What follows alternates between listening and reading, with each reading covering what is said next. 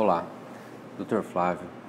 Queria conversar um pouquinho sobre uma cirurgia, na verdade sobre uma dúvida muito frequente. Tem pacientes que por vezes têm sobra na região do abdômen e são pacientes que têm indicação para cirurgia de dermolipectomia abdominal.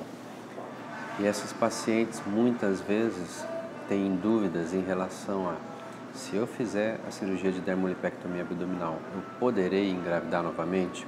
Pode acontecer alguma coisa e muitas acham que, por exemplo, se fizer essa cirurgia, elas não vão conseguir levar adiante uma gestação no fato de o útero ficar preso e não conseguir desenvolver por causa da cirurgia.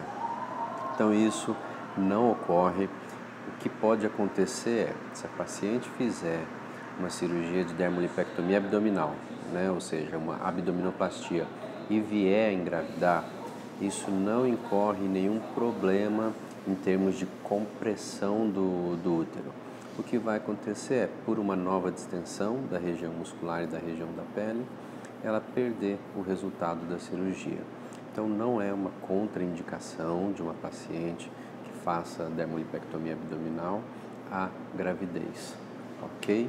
É um vídeo rápido, apenas para retirar essa dúvida que muitas pacientes, por vezes, até deixam de operar por causa dessa informação. Ok? É lógico que o ideal é sempre se programar da melhor maneira, de modo que a paciente possa eh, levar as, a gravidez, levar a gestação e depois de tudo definido, depois de engravidar, fazer a sua cirurgia ou em alguns casos selecionados, ela até pode fazer a cirurgia e vir a engravidar assim depois.